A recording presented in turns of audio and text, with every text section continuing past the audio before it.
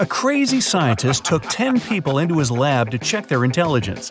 He gave everyone two pills and a glass of water.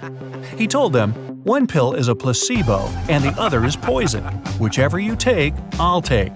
But somehow everyone ended up unconscious after the trial except for the scientist. How did he do it?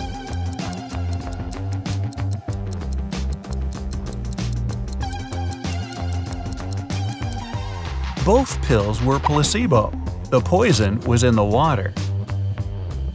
Right before the final soccer match, the team's goalkeeper went missing.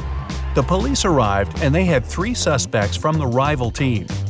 Mike said he was signing autographs for his friends. Jake said he had broken his ankle and he was getting a massage.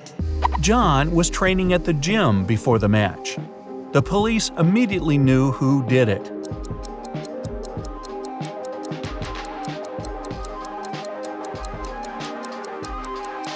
It was Jake. You don't get a massage when you break your ankle. Uh-oh, Allie was missing for days when her husband Orson called the police to report it. Detective Wells arrived at the scene and found her purse buried in the garden. Inside, there was a note that read, It's a sign, you're mine. I redesign your new life. The police had three suspects with unusual names Orson, her husband, Ryan, her best friend, and Atlas, her brother. Who took Allie?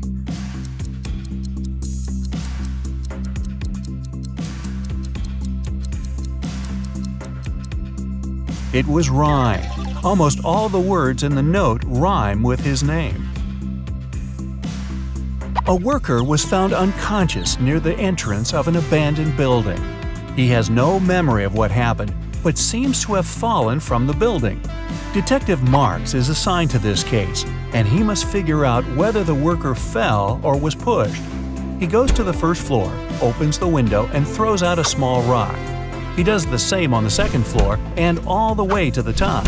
When the detective comes back down, he's sure the worker was pushed. How does he know?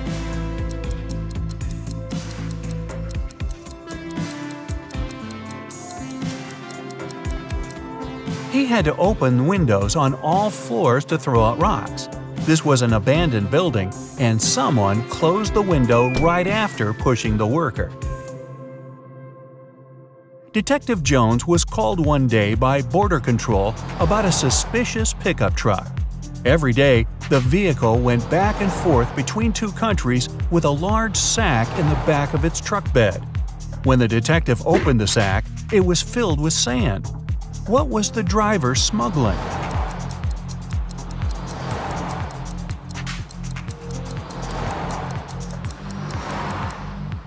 Trucks.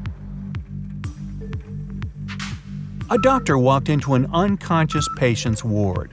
There, he saw a nurse buttoning up her shirt. As soon as she noticed him, she exclaimed, It's not what you think. The nurse isn't lying, but why was her shirt unbuttoned in the first place?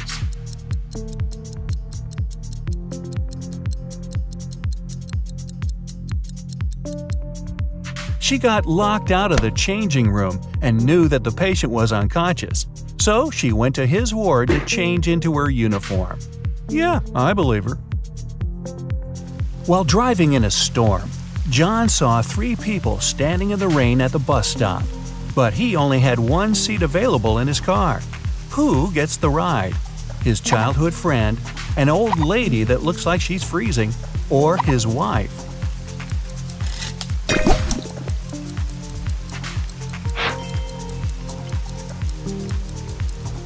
John asks his childhood friend to drive the old lady to the hospital and then take the car back to his house. And John himself will wait for the bus with his wife. Shane and Mia went to Japan for their honeymoon. Only Shane came back, and Mia's family called the best detective in town. What should be the detective's first move? Inspect Shane's suitcase. Inspect Shane's house. Call the travel agency Shane and Mia used.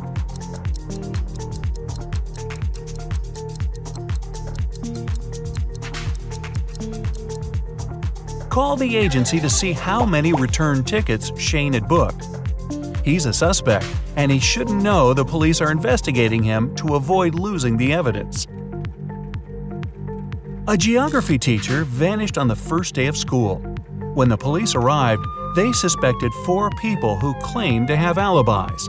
The landscaper was mowing the front lawn. The English teacher was giving students a surprise test. The principal was preparing for his welcoming speech. And the coach was meeting new students who wanted to join the football team. Who was lying?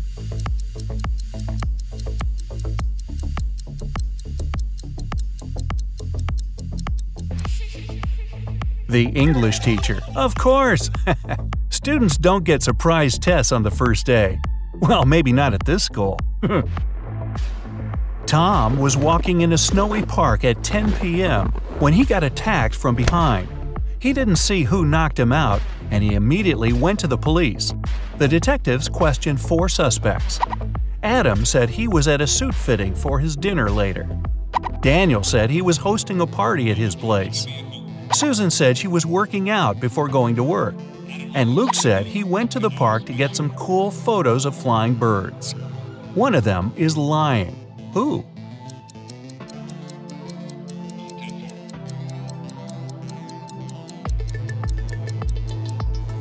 It's Luke. It's next to impossible to see birds at night in winter. Someone knocked on Amy's hotel room door. When she opened it, she saw a mysterious man. He apologized and said he'd mistaken Amy's room for his. When he left, Amy called the police. Why?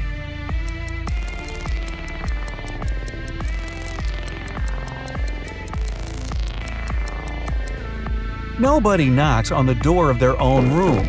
This is a technique used by people who want to break into someone's home. James ordered a coffee from his local bakery, put in some sugar, but then noticed a fly in his cup. He told the staff member, and they took back the coffee and brought him a new one. But when he got a sip, he got angry.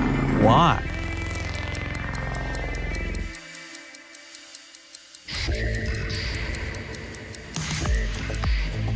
His new coffee was already sweetened. The staff member only removed the fly.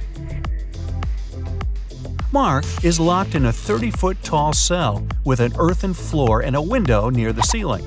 There's nothing else in his room but a shovel and a bed. The entrance is blocked with concrete.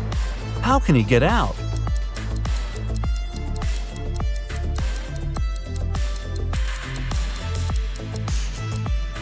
Mark can shovel the soil to the wall underneath the window and climb out.